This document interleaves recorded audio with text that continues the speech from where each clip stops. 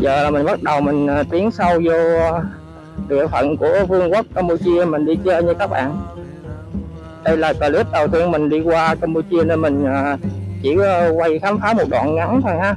Rồi các bạn đăng ký kênh để ủng hộ mình đi để theo dõi những clip tiếp theo mình tham quan những điểm du lịch thú vị ở bên Campuchia. Với uh, coi coi người Việt Nam ở bên Campuchia này mình uh, sống có đông không ha? Đó đây là đường xá bên Campuchia nè các bạn ồ đường đất đỏ là khỏi chê luôn. Đó. Đây đây là nhà nhà ở Campuchia nè các bạn. Đó, các bạn thấy không? Cái nhà gỗ mà cây nữa nè. Đây đây là một cái ngôi chùa nè các bạn. Chùa ở Campuchia nè.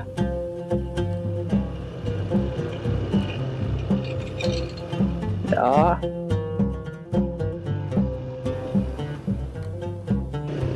Đó đường đặc trưng của uh, ở Campuchia mà giáp ranh với Việt Nam đó các bạn là đặc sản là bụi đường đất đỏ. Bụi đỏ rất là nhiều luôn. Đó, đây là à, mà qua bên đây là mình thấy rất nhiều cây thốt nốt vậy các bạn. Đó đây là cây thốt nốt đây. Đó bên đây là nhà sàn của Campuchia ha đó. Thôi mình gọi gián tắt là cam đi. Đó, ở bên cam này là bụi đỏ là đường nó đỏ là khỏi chê luôn. Rồi ok giờ mình bắt đầu mình tiến sâu vô hơn nha các bạn. Vẫn là đường đất đỏ.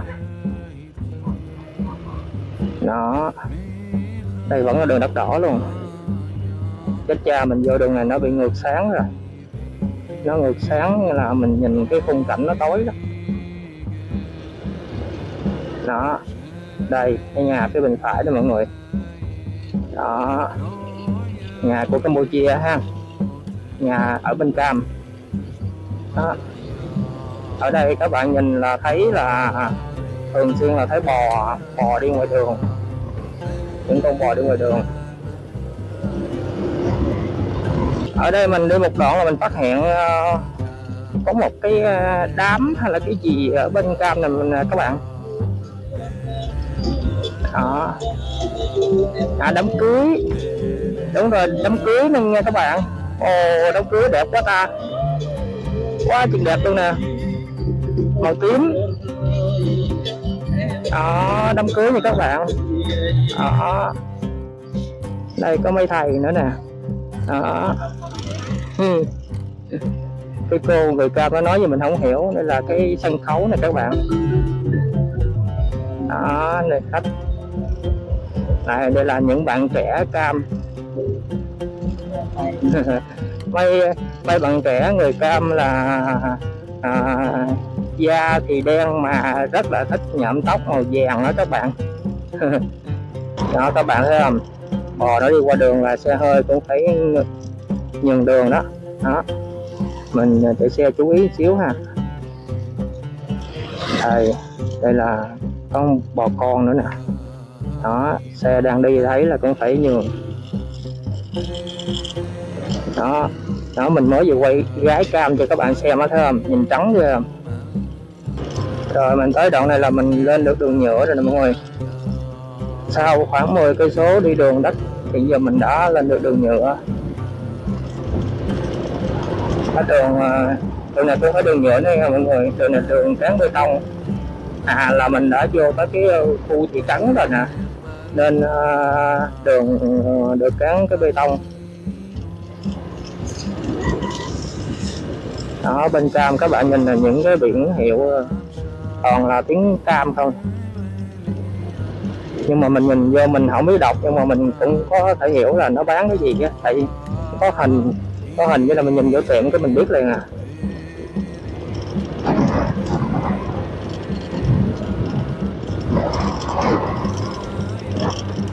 Rồi mình tới một cái ngã tư ha.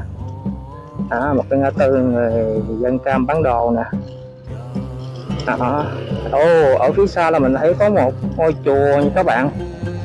Ngôi chùa cái à, mái chùa là mang đậm phong cách kiến trúc cam ha. Quá chừng đẹp không? Nhìn lạ mắt quá. Bây giờ mình chạy lại gần hơn ha. Đó, đây là, bên đây có chiếc xe gì nè? Xe công nông. Đây đây là chùa cam nè các bạn. Đó. Giờ mình sẽ chạy vô ờ, đây mình mình coi thử ha rồi mình đã vô được uh, cái chùa ngôi chùa đầu tiên ở bên cam nha các bạn. Đó giờ mình uh, quay qua cái uh, chùa phía bên này cho các bạn xem nè. Mình đi cái dịp này là nó cũng đặc biệt cái là ở bên này chuẩn bị tới tết cam đó. Nên ở trong chùa là uh, mình thấy là người ta mấy thầy đang trang trí ở bên đây là mấy thầy với uh, giống như phật tử là đang uh, trang trí để uh, chuẩn bị đón tết cam.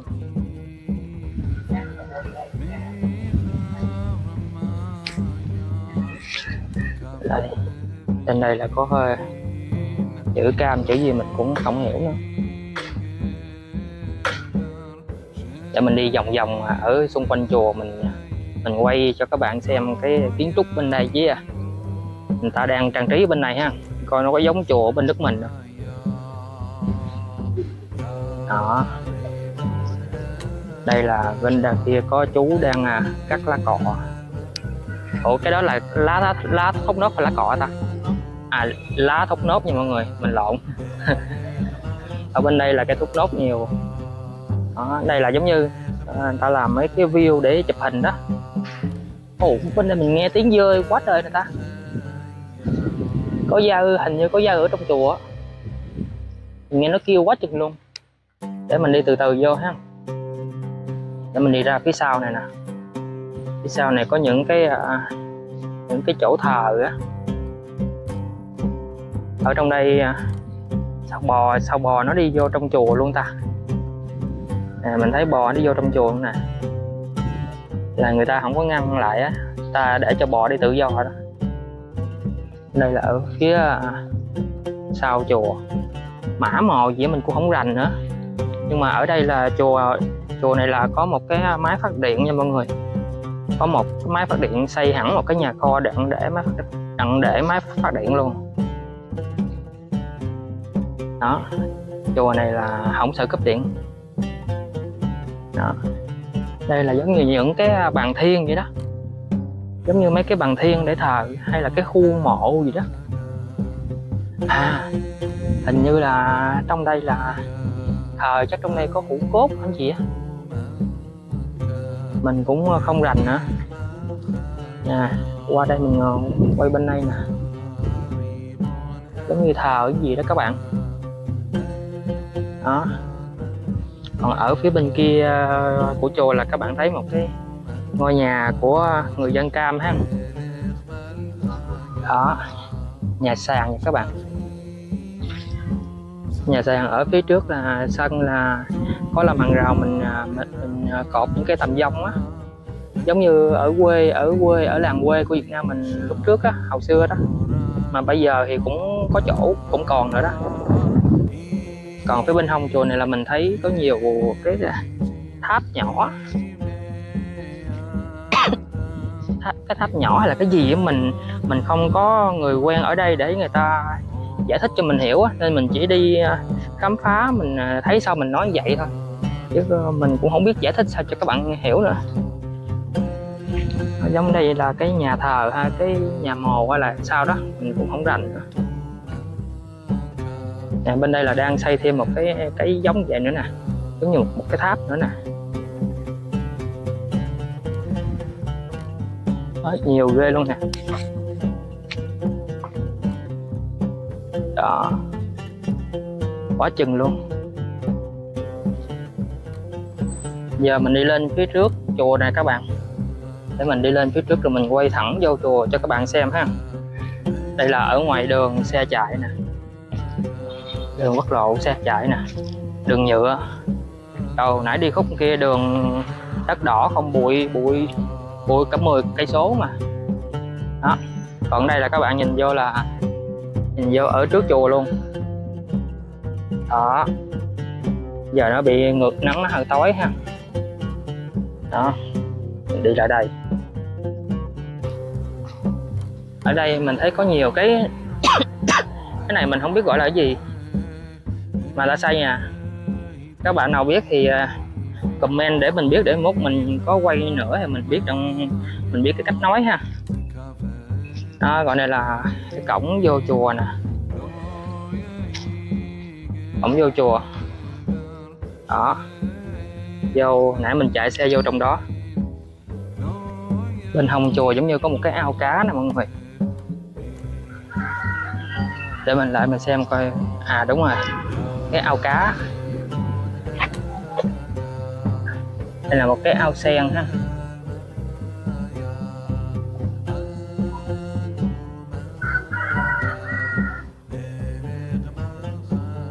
cho mình không thấy cá ta?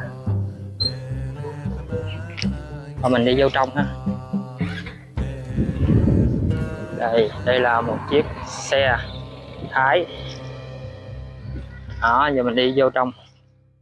Đây, ở góc này là có một cái tiểu cảnh là hình trái tim. Mà chắc chưa trang trí xong đâu. Cái cây bên đây là cũng ờ, đang lên cái khung để mình ờ, làm một cái tiểu cảnh ha. Đó đây là có chú này đang à, chặt lá cây thốt nốt. Để trang trí. Đây, lá cây thốt nốt.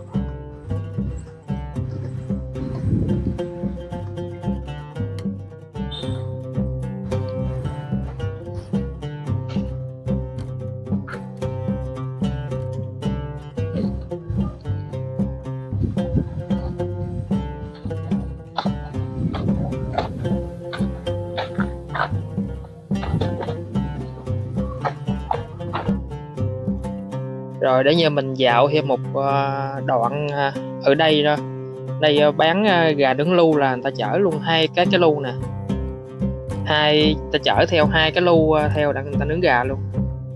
À, giờ mình chạy thêm một đoạn để mình ngắm đường phố ở bên Campuchia xíu nữa ha. Ở trong đây là cái khu thị trấn á. Khu thị trấn gian gian biên giới á. Cách biên giới chắc cũng mười mười mấy cây á, nên nó cũng đông đúc hơn là cái khu ở ngoài kia. Khu ngoài kia là không có đường nhựa gì đâu, mà bụi bụi rồi, bụi dữ dằn lắm. Đặc sản của Campuchia là bụi mà. Trong đây có chợ nè, có có bệnh viện nữa. Nó trong đây là bán đầy đủ hết. Ở đây mình thấy có cửa hàng điện thoại di động Oppo nè. Để nguyên chữ Oppo luôn nó có nhà lầu cũng quá chừng nè. Tại khu đây là khu trung tâm á. Nên ờ, ta giàu ta mua bán ta giàu nhà cửa nó, thấy cửa hàng điện thoại nữa nè. Rồi bên đây cái Oppo nó đầu tư mạnh ghê ha. Nè, ở đây có Vivo nè, Vivo, Oppo. Đó, hai cái này là nhiều nhất. Sao không thấy Samsung với iPhone ta? Đây là chợ bán trái cây nè. Đó hay là ở trong uh, thị trấn mà nó mà nó cũng không có đông người ha. Mình đi ra mình thấy uh, nó cũng vắng vắng chứ nó không có đông. Nói chung là vắng luôn á chứ không phải là vắng vắng nữa. Xe đang bốc hàng quá nè. Người thưa quá. Chắc có thể là cuối tuần là mới đông người thôi.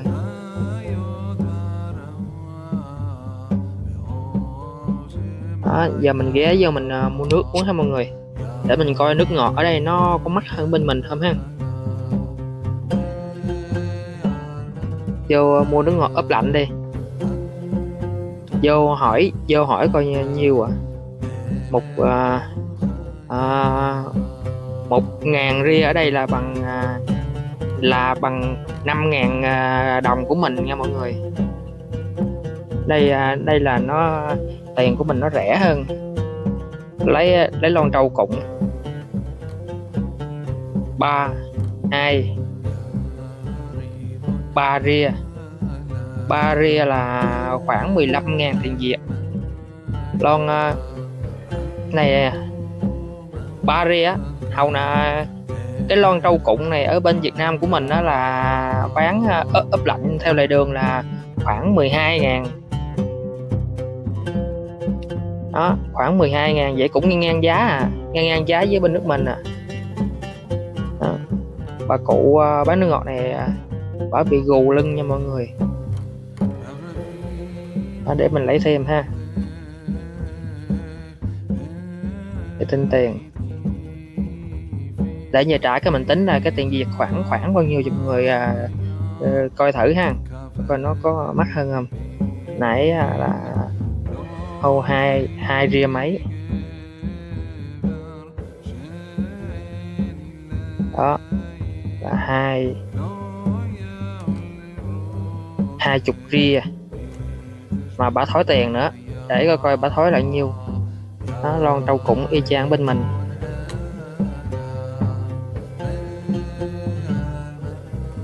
Nếu như à, hai ria mấy là nó cũng bằng bên mình à. Ờ, à, thối lại là một lon là khoảng hai ria rưỡi nha mọi người. Hai ria rưỡi là nó vô khoảng 12 ngàn mấy 13 ngàn. Là tính ra nó cũng à, bằng với bên mình á cũng bằng bên nước mình à, chứ cũng à, không mắc hơn. Rồi ok.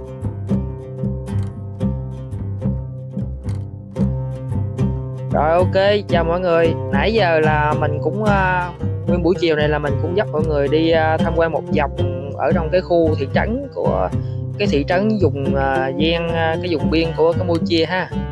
Mọi người uh, nhớ đăng ký kênh để uh, theo dõi uh, những clip tiếp theo của mình. Tại vì uh, những clip tiếp theo của mình là mình sẽ đi qua đây mình khám phá uh, những cái điểm vui chơi hay là những cái món ăn ẩm thực làm sao á để coi coi cái cách ăn uống bên đây với cái món ăn coi coi nó có trời ơi đang nói chuyện nguyên chiếc xe nha. Chiếc chiếc cái chiếc gì nó kéo hết ga qua. Bụi mịt mù luôn. Rồi à, các bạn nhớ theo dõi để mình à, quay thêm những clip tiếp theo ha.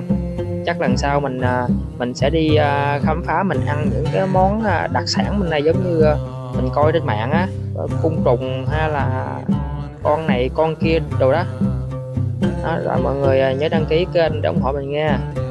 Rồi chào tạm biệt mọi người.